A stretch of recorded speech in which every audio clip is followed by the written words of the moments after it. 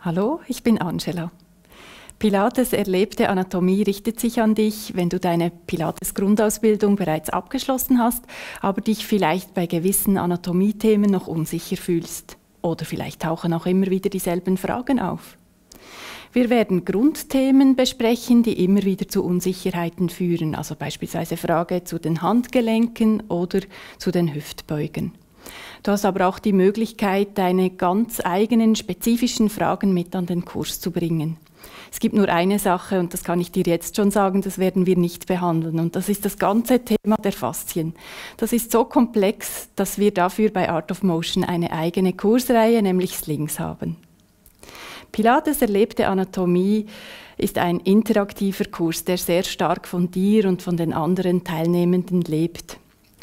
Wir werden eure Fragen nicht nur mündlich besprechen, sondern wir werden tasten, wir werden palpieren, einzeichnen, bewegen, beobachten. Du wirst dich also ganz aktiv mit deinen Themen auseinandersetzen. Eine Möglichkeit ist beispielsweise, dass wir die verschiedenen Muskelzüge an der Bauchmuskulatur mit Bändern darstellen, beispielsweise der Transversus abdominis den wir hier zwischen den beiden Sias, den Spina iliaca anterior superior, aufkleben oder dann als lange Verbindung von diesem T den Rectus abdominis symbolisieren.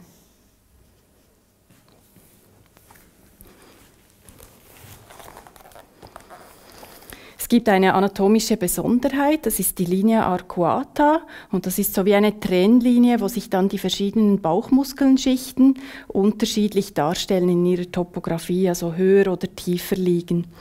Und Unterhalb dieser Linie arcuata ähm, sieht man dann die Bauchwand herausdrücken, wenn du während den Übungen, wo es um die Zentrierung geht, geht eben diesen Transversus abdominis nicht korrekt anspannst. Du kannst dich jetzt auf den Rücken legen.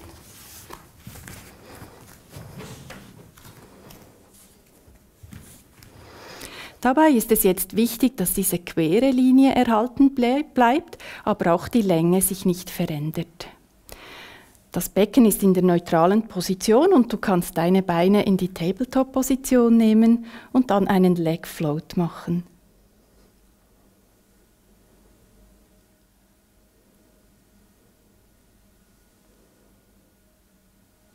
Sehr gut.